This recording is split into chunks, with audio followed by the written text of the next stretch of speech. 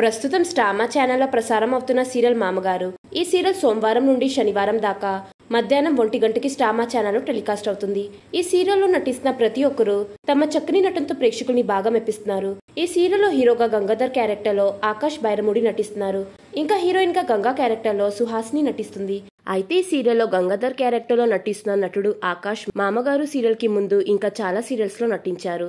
అత్తారింట్లో అక్క Chellelu Agni Pariksha Punnaga Rajeshwari Vilas coffee club వంటి సీరియల్స్లో నటించి మంచి గుర్తింపుతో పాటు ఒక మంచి ఫ్యాన్ ఫాలోయింగ్ని కూడా సంపాదించుకున్నారు. అయితే నిన్న ఆకాష్కి ఐశ్వర్య అనే అమ్మాయితో ఫ్యామిలీ ఫ్రెండ్స్ మధ్యలో చాలా గ్రాండ్గా పెళ్ళి జరిగింది. పెళ్ళికి ముందు ఘనంగా పెళ్ళి కొడుకు ఫంక్షన్ అలాగే హల్దీ ఫంక్షన్ కూడా జరిగింది.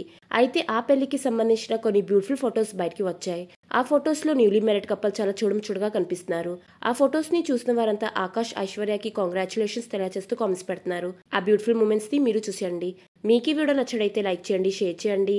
ఇంకా ఇలాంటి లేటెస్ట్ అప్డేట్స్ కోసం నా ఛానల్ని సబ్స్క్రైబ్ చేసుకుని పక్కనున్న బెల్ ఐకాన్ యాక్టివేట్ చేసుకోండి. Thanks for watching.